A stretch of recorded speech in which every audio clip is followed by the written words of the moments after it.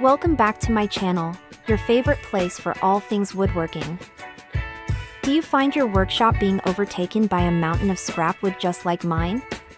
It's an all too familiar sight, isn't it? Somehow, we never seem to have the exact piece of wood needed for our current project. But today, we're going to stop seeing this as waste and start seeing it as a treasure trove of potential.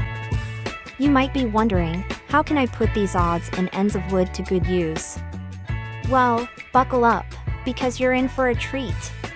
Are you ready to be amazed at the incredible things your leftovers can transform into?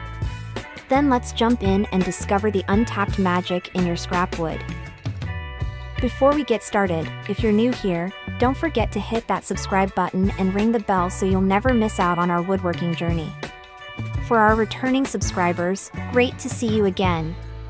Thank you for your continued support and let's keep this woodworking community growing.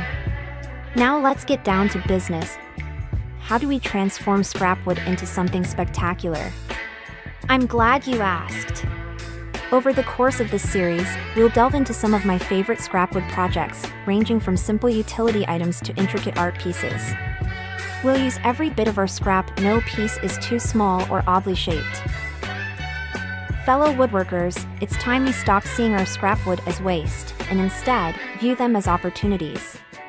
Every piece of wood in your workshop is a potential work of art, waiting for your creative touch to bring it to life. Our approach to every project will be to leave no piece unused. We'll find the beauty and function in every scrap, regardless of its size or shape. This way, we maximize our resources and challenge our creativity.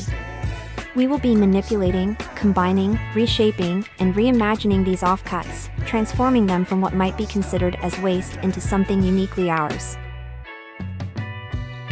But this scrapwood transformation journey isn't a one-man show. It's about us, a community of creators, a collective of craftsmen and craftswomen, united by our shared love for woodworking. I want this to be an interactive experience, a platform where we can share our ideas, our successes, and our lessons learned. So, I urge each one of you to share your own scrapwood projects in the comments section below. Not only will this give your project the spotlight it deserves, but your creativity might also spark inspiration in another craftsman. Thanks for tuning in today. As always, don't forget to like this video if you found it useful and share it with your woodworking buddies. Until next time, keep crafting, keep creating, and most importantly, keep discovering the beauty in your scrap wood. Signing off, till our next woodworking adventure.